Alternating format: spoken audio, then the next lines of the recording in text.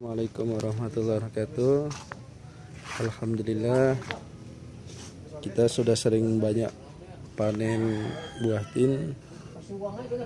Ini mau panen lagi tapi Cuma ada satu nih. Ini udah merekah. Buah tinnya mana? Hmm? Udah pecah Tapi masih bisa dimakan karena belum busuk. Ya Alhamdulillah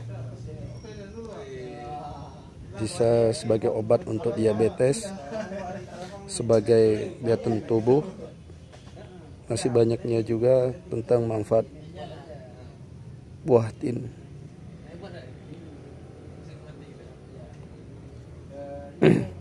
mungkin nanti di lain waktu saya akan ajarkan cara memperbanyak pohon tin oke.